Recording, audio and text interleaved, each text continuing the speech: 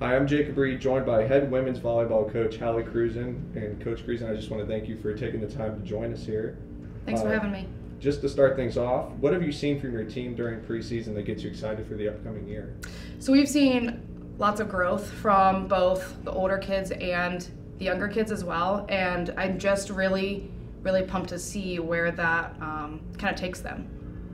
Yeah, so just to, to talk about the team, do you have any, any particular players who have really stepped up in camp and, and helped ele- elevate the team overall? Yeah, so um, it helps having three fifth year seniors. Um, their leadership and um, experience, both on and away from the floor, really helps our young kids grow quicker, and they just seem to be having a little bit more fun in the gym right now. Yeah.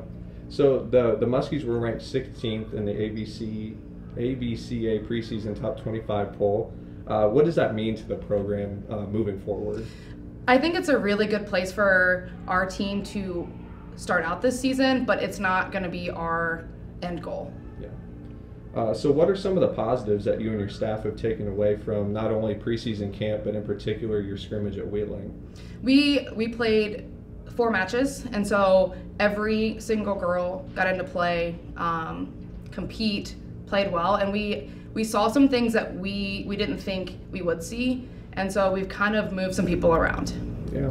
Uh, just to wrap things up here, what will it mean to your program to have fans back in the stands? I mean, it's been almost two years now since we've had fans in the stands at, at a full capacity. So, what, what does that mean for your team, and what kind of energy does that bring? Our fans mean the world to us, and we are just super pumped to bring them back in the gym and show them what we've been um, doing, and then get them to be super loud and proud. Absolutely. So, Coach, again, I want to thank you for taking the time to join us, and best of luck to you and the team this year. Thank you.